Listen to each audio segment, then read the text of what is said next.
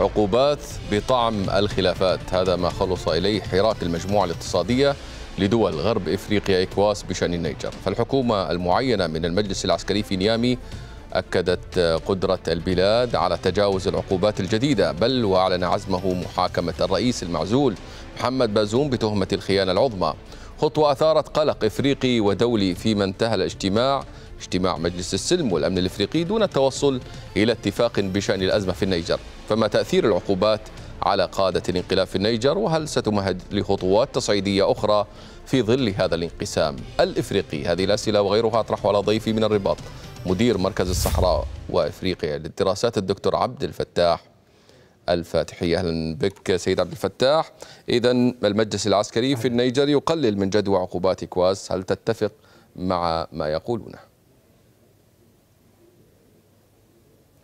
نعم وبكل تأكيد أن هذه العقوبات ستكون مؤلمة على على النيجر وبالتالي ستزيد ربما من تهلهل الأوضاع الأمنية وهذا هو التحدي الخطير الذي ليس في مصلحة لا سواء نيجيريا ولا سواء منظمة الإكواس. اليوم هناك يعني الخيارات الوحيدة ربما التي موجودة عند الإكواس بعد فشلها في تدخل عسكري لعدم حصول إجماع لا سواء داخل الإكواس ولا سواء كذلك بالنسبة للاتحاد الإفريقي غداة اجتماع مجلس السلم والذي لم يتوصل إلى اتفاقات مشتركة بخصوص كيفية التعامل م. اليوم هناك إشكالية حقيقية بين من يدعو إلى العودة إلى الشرعية والمشروعية ولكن من جهة أخرى هناك الإكواس ودول أوروبية يعني تربط الشرعية والمشروعية بعودة محمد بازوما إذا اليوم مداخل الحوار يجب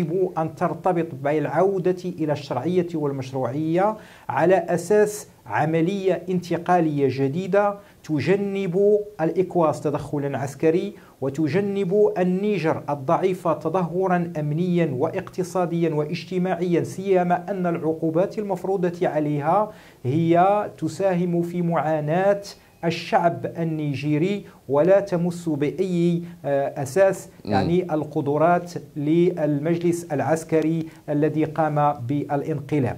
وبالتالي مستقبل النيجر هو من مستقبل منطقة الساحل والصحراء التي تعاني من عمليات عسكرية وهجومات يقوم بها الجماعات المسلحة الإرهابية وغداة هذه الأزمة بتنا نشهد صراعات لحركة أزواد مع يعني في مالي في الشمال المالي وهذا ما يعني إنهاء طيب. لاتفاق الجزائر 1915 وكذلك هجوم على الجيش النيجيري والذي أودى بعديد من عناصره من قبل جماعة إسلامية مسلحة. إذا الهدف المشترك أو التحدي المشترك في منطقة الساحل والصحراء وبالنسبة للإكواس وهو مكافحة الإرهاب وأن عمل الإكواس يجب أن يقوم على أساس إصلاح الجيوش وتثبيت مبادئ القيم الديمقراطية وليس انتظار حتى يحصل هناك انقلاب بسبب التدهور الأمني لتقوم النيجر بعقوبات تزيد من يعني ممارسة طيب لكن سيد عبد الفتاح يعني القيادة الجديدة في النيجر رئيس الوزراء الجديد علي محمد الأمين قالها بنفسه المجلس العسكري أعطى الضوء الأخضر لبدء محادثات مع المجموعة الاقتصادية إلى أي درجة هذا التحرك الآن من المجلس العسكري دفع بهذه الحكومة الجديدة وأنها ستدير البلاد لمرحلة أفضل. يحرج المجموعة الاقتصادية وأي فرص لتدخل خارجي سواء عسكري أو فرض يعني مسار على الأقل دبلوماسي. سيد عبد الفتاح. طبعا بكل تأكيد نواجه مشكلة مع سيد عبد الفتاح. لثواني ننتظر. يبدو أن الإشكالية تستمر مع السيد الدكتور عبد الفتاح الفاتحي مدير مركز الصحراء وإفريقيا للدراسات. كنا نتحدث عن المجلس العسكري الذي يستولى على السلطة في النيجر. سيد عبد الفتاح يعني القيادة الجديدة كنا نسألك في البلاد في النيجر قالت إنها قادرة على تجاوز العقوبات المفروضة عليها حديثا. لم تستبعد العودة إلى المسار الدبلوماسي. إلى اي درجة يخلط الأوراق بأن المجلس العسكري ليس متمسكا بالسلطة بل فعلا يدفع البلاد إلى مسار أفضل. وفي الحقيقة هناك مساعي بالنسبة للمجلس العسكري في فتح صفحة جديدة بعيدا عن التهديد التي سبق وأعلنت عنه مجموعة الإكواس وأكد بأن العقوبات المفروضة على بلاده تستهدف بأنها غير عادلة وغير إنسانية لأنها تستهدف الشعب النيجيري م. وفتح مؤخرا باب الحوار مع وفد من برلمان الإكواس للبحث عن حلول سلمية لكنه بغض النظر عن ذلك فهو يريد أن يعلن إنهاء مرحلة محمد بازوم التي تمسك به المجموعة الدولية وكذلك الإكواس. وهذا ما يعني ويبرر ذلك هو ما لكن يعني به فكرة الذهاب إلى الحلول الدبلوماسية مع رئاسة مع رئيس الوزراء الجديدة والحكومة الجديدة إلى أي درجة بالفعل آه، يحرج الأطراف الأخرى آه، التي تحاول آه، بين قوسين إنقاذ النيجر. وينهي مرحلة بازوم ويعني ينتظر النيجر مسألة المحاكمة الآن سيد عبد الفتاح.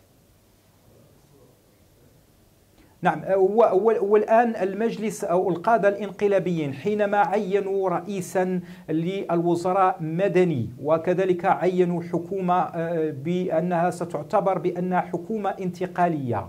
يعني هذا يتوافق تماما مع ما تريده الإكواس أي العودة إلى الحكم الدستوري. لكن بشرط بدون محمد بازوما وأن كذلك مسألة الارتباط الإكواس والتحالف الدولي بمحمد محمد بازوم هو الذي جعل القادة العسكريين في النيجر يذهبون إلى الأمام ويعلنون بعد أن هددوا بتصفيته إذا ما كان تدخل عسكري. ها هم اليوم يؤكدون بأنهم يجمعون الأدلة والوثائق لإدانته لكن سيد عبد الفتاح حتى نستغل آخر دقائق و... معك.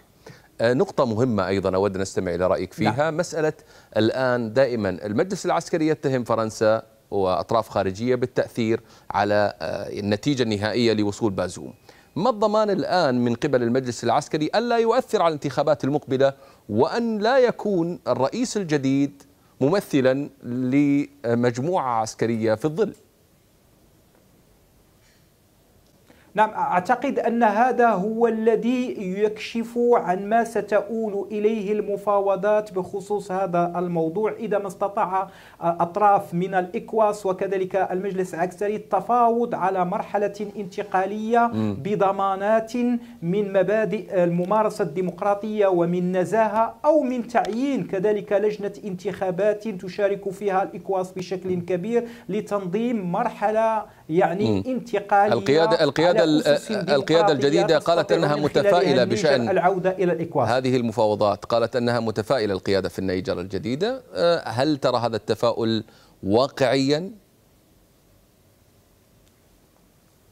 وفي الحقيقة لا أعتقد بأن مسألة الدفع بعملية محاكمة محمد بازوم بأنها يعني تهديد من جديد أو ربما رفع السقف ولكنها هو بحث عن مخرج للتهديدات السابقة والتي تبقى قائمة بالنسبة للإكواس والمتعلقة بتدخل عسكري بعدما يعني أعلنت عن قوات احتياطية فقط بقي آه، سوى اللمسات الفنية من أجل التدخل العسكري سيما أن هناك كذلك دعما من الولايات المتحدة الأمريكية وكذلك من فرنسا وهذا ما يجعل بأن النيجر في صراع دولي أو تنافس دولي. إذا اليوم أن إكواس عليها أن تبحث عن مواقف مستقلة في علاقتها التفاوضية مع السلطات القائمة في النيجر والبحث عن عن مستقبل جديد. لا يجعلهم يتدخلون عسكريا لأن إضعاف النيجر والقضاء على الوحدة المتواجدة في القوات القوات العسكرية سيجعل